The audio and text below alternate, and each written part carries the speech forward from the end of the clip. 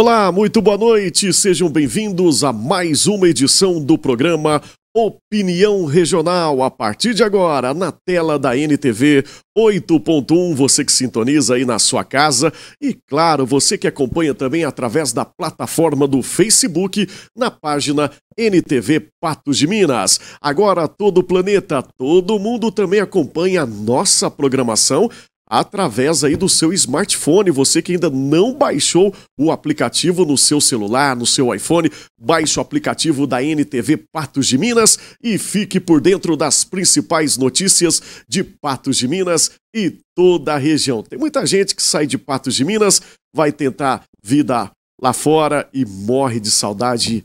Abrevia essa saudade conferindo a programação da NTV aí, tá bom? Bom, você de casa, fique ligado porque o Opinião Regional conta com a sua opinião. A partir de agora, o telefone está na tela para você mandar a sua pergunta, dar a sua opinião, o seu questionamento. Fique à vontade, porque aqui o mais importante é a sua opinião. Tá aí o nosso WhatsApp. Hoje tudo mais fácil através do WhatsApp. Manda aí a sua pergunta e fique à vontade. Bom, o nosso programa de hoje trazendo ela mais uma vez aqui no nosso programa, porque é uma data para lá de especial. Amanhã, dia.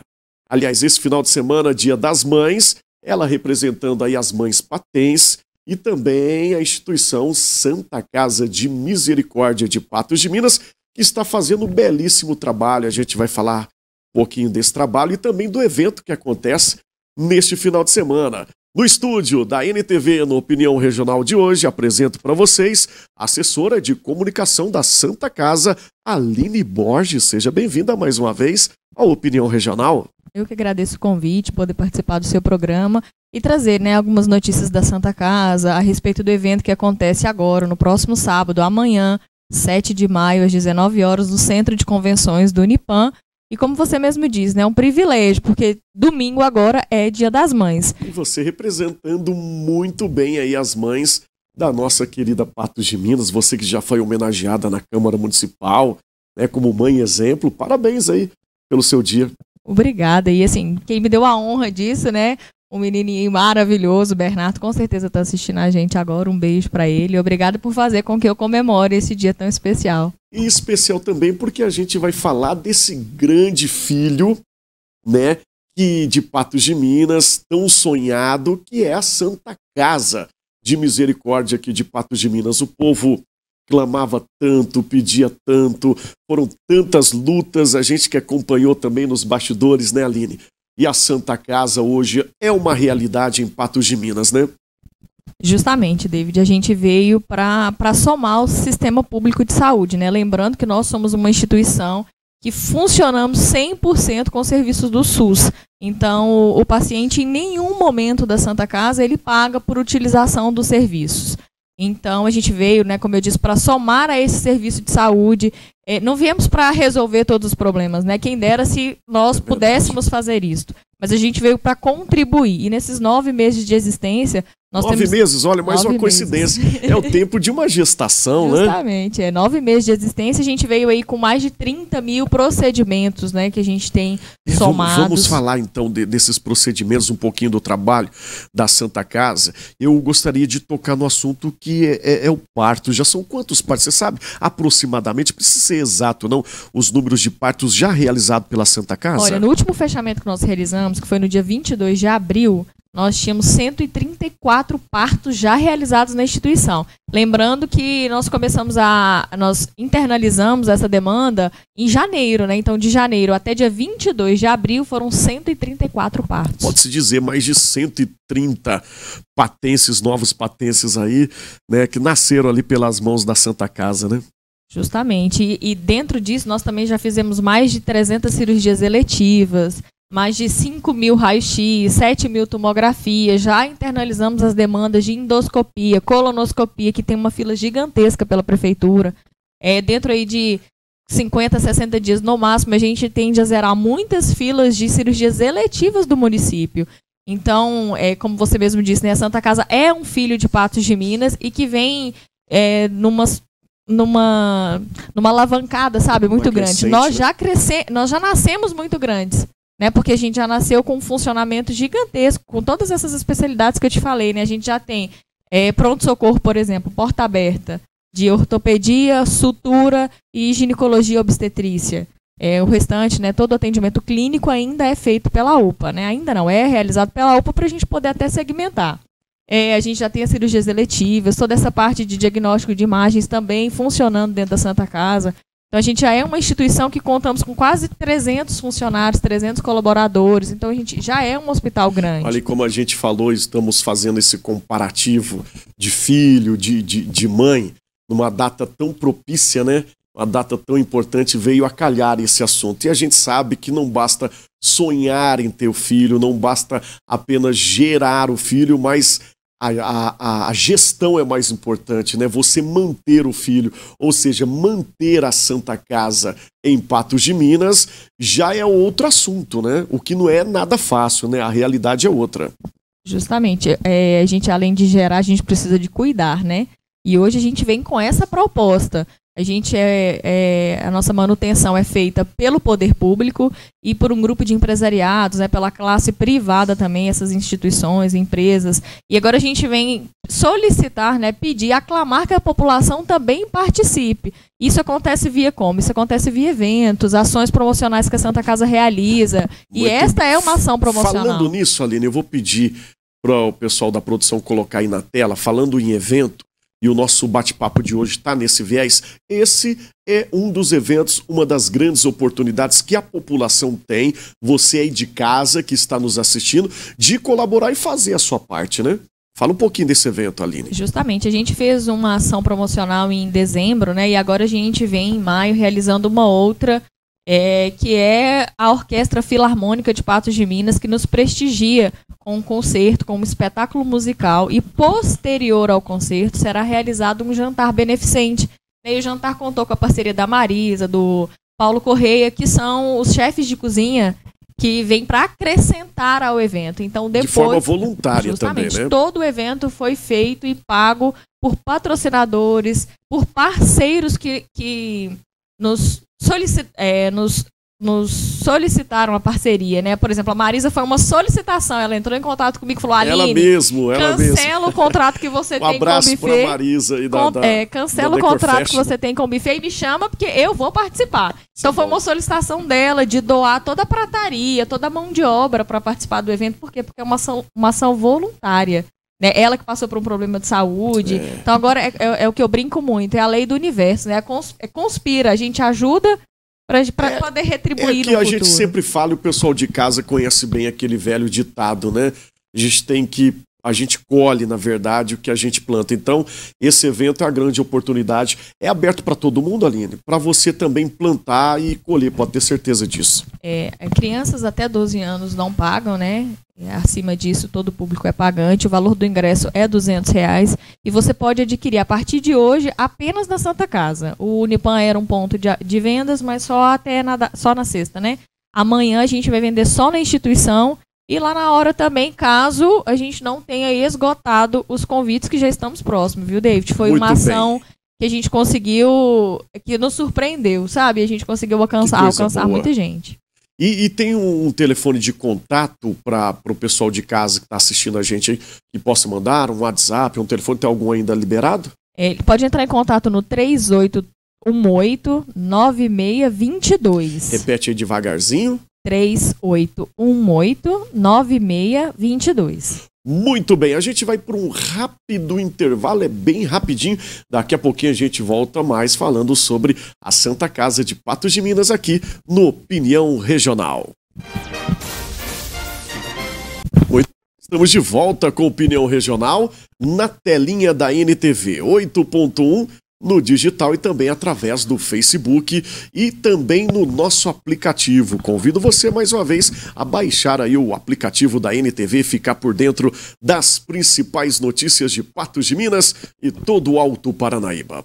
Bom, opinião regional de hoje, conversando com a assessora de comunicação da Santa Casa de Misericórdia de Patos de Minas, Aline Borges, que está aí já na porta, né? O grande evento que é muito importante para continuar mantendo aí a Santa Casa de portas abertas, né? Então eu gostaria que a produção colocasse mais uma vez aí na tela o evento e a Aline reforçasse o convite, né? São os últimos ingressos para você participar de um evento bacana, né? E o mais importante disso, fazer o seu papel de ser humano, fazer o seu papel de cidadão patense. Justamente, David, vai muito além do comprar o ingresso, né? É o ato de ajudar. É, então, o evento está aí, é amanhã, né? 7 de maio, às 19 horas, no Centro de Convenções do Unipan.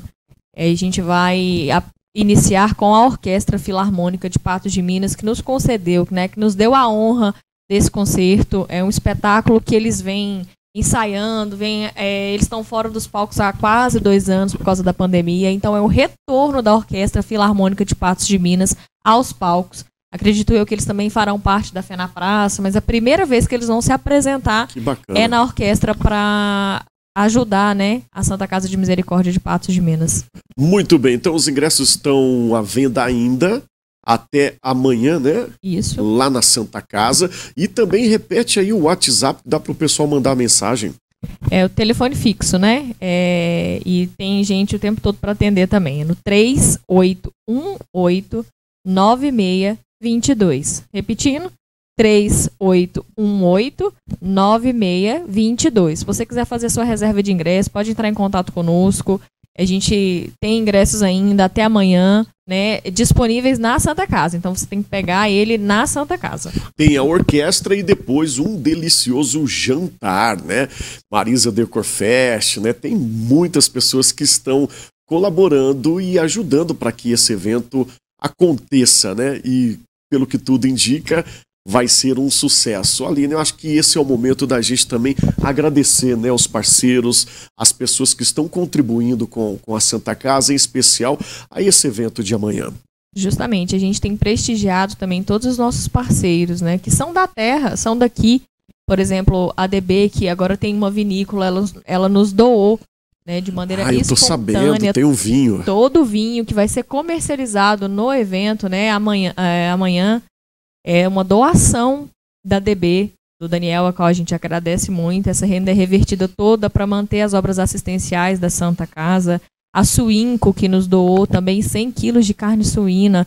Então a gente tem prestigiado os nossos patenses também, tirado daqui os produtos é, da nossa terra, onde o pessoal é muito solidário, né, David? A muito gente... bem. E são, são outras empresas também que, que ajudaram a gente, não dá para falar o nome de todo mundo, mas vai o nosso agradecimento especial a todos os comerciantes, empresários aí que contribuíram e a você que já comprou o seu ingresso. Você que ainda não comprou, dá tempo de você adquirir o seu ingresso. Aline, lembrando, depois do evento, todo, é, toda a renda será arrecadada, será destinada 100% a Santa Casa, que está ampliando, né? Fala um pouquinho aí sobre esse investimento.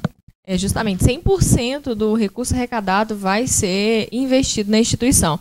Hoje a gente passa por um, por um crescimento, né, por uma expansão, a qual a gente teve que adaptar o nosso projeto, que antes era um crescimento na vertical, né, hoje é um crescimento na horizontal.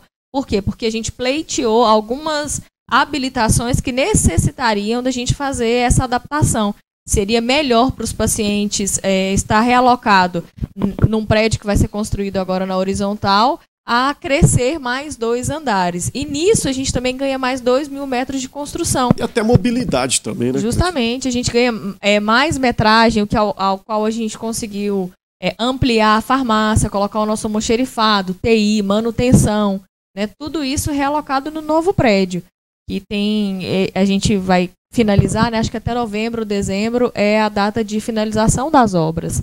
Então a gente vem crescendo aí mais 6 mil metros quadrados. A instituição agora contará com 14 mil metros de área construída. Muito bem, Aline. Para o pessoal de casa ter a consciência, não vou falar nem em forma de, de informação, se você pode, claro, não sei se, se, se compete a você, a falar mais ou menos o custo. Acredito que sim, que isso é nítido o custo de manutenção da Santa Casa mensal. Aproximadamente fica em torno de quanto? Olha, David, é cerca de 2 milhões de reais, né? A gente tem 88 médicos trabalhando conosco e todos esses, igual eu te falei, foram 30 mil atendimentos. Se você diluir isso em nove meses, é um quantitativo muito grande. Hoje a gente é o maior hospital da região, tanto particular quanto da área pública, porque nós temos 129 leitos, o que nos torna o maior hospital da macro-região. Patos mais 32 municípios. Muito bem, então esse é um jantar, é um evento que você vai poder ajudar, como eu disse, fazer a sua parte e vai ajudar muito, muito, muito a manter a nossa Santa Casa. Bom, para a gente finalizar aqui o nosso programa, Aline, eu gostaria, pode deixar aí produção na tela se puder, deixar aí, ó, esse convite ali, no último chamado, né? Faz aí o chamamento para que a população contribua e participe. Se tiver um telefone também, alguém não pode ir no evento, mas quer contribuir também. Pensa, olha, o nome do evento é Notas de Amor. Nada mais justo, lindo, né? Lindo. Nada, nada mais justo do que numa data como essa, para uma instituição como a Santa Casa, ter o nome do evento de Notas de Amor. Vai jantar lá e depois almoço com a mamãe. Justamente. A gente convida toda a população para poder participar do evento. É, a nossa chamada é uma noite que vai tocar no seu coração e literalmente ela vai, viu, David? A orquestra está com apresentação maravilhosa. Então não perca a oportunidade, vá à Santa Casa, ligue para nós, reserve seu ingresso e venha participar com a gente. É um ato de doação. Certinho. Aline, muito obrigado mais uma vez pela sua contribuição, seu tempo doado, e eu sei que você faz de bom coração também para contribuir para uma cidade melhor.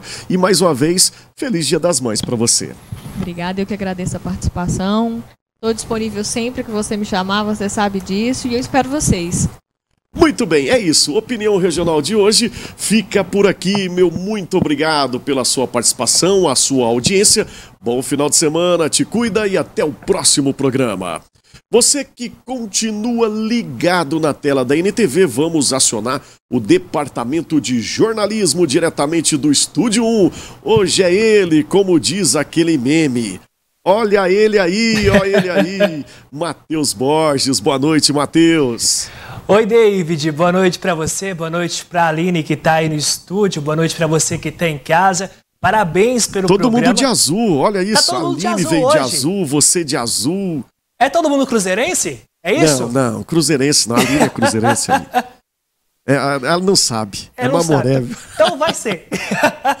Matheus, mas é isso. Bom programa, viu, David? Muito bom. Bom programa para você, alguma... bom final de semana e a gente se encontra lá no evento da Santa Casa amanhã, tá bom? Com Forte certeza. abraço. Esse evento que vai ser um sucesso total. Abraço para você também, David.